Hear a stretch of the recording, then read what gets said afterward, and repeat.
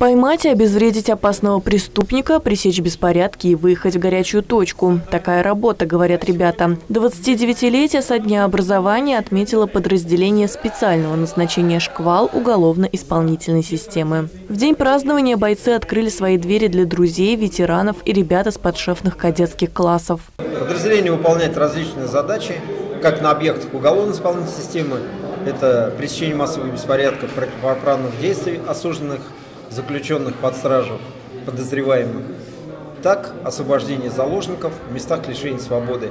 Предотвратить теракт и ликвидировать вооруженные формирования – прямая обязанность бойцов. Отдел спецназначения был создан в 1991 году. За это время «Шквал» заработал авторитет одного из сильнейших отделов не только в регионе, но и в стране. Личный состав не раз участвовал в боевых действиях по ликвидации незаконных вооруженных формирований на Северном Кавказе. Поздравить ульяновцев приехал и экс-министр спорта Николай Цуканов, бывший боец спецназа. Всегда приветствуется преемственность поколений, когда есть молодые сотрудники, когда есть ветераны.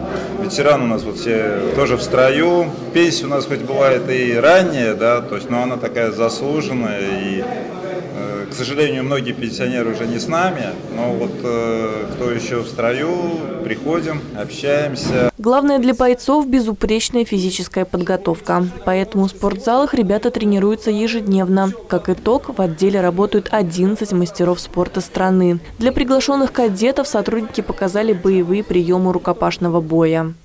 Пошел и бросок.